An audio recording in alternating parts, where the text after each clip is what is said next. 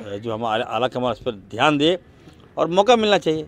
अब राजस्थान की तर्ज पर देखिए, जब हमारे मंत्री काम नहीं कर रहे हैं और पार्टी की किरकिरी हो रही है तो इस, उस पर कार्रवाई होनी चाहिए।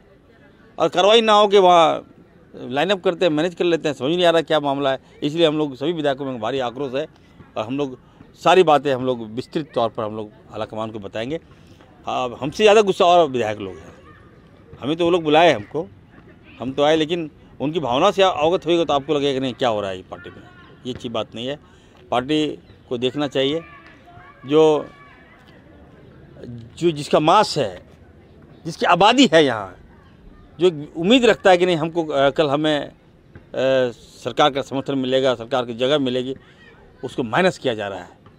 इसका आक्रोश है।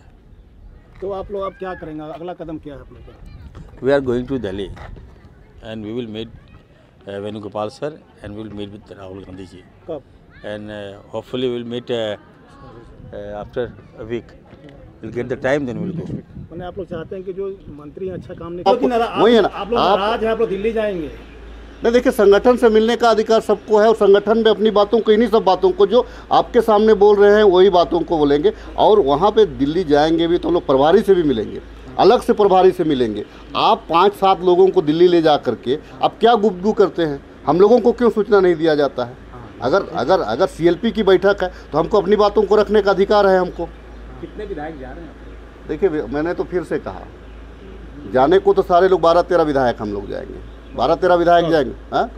हम लोग जब हम लोग को राहुल जी और हमारे आदरणीय वेणुगोपाल जी और प्रभारी जी का समय मिल जाएगा हम लोग जाएँगे।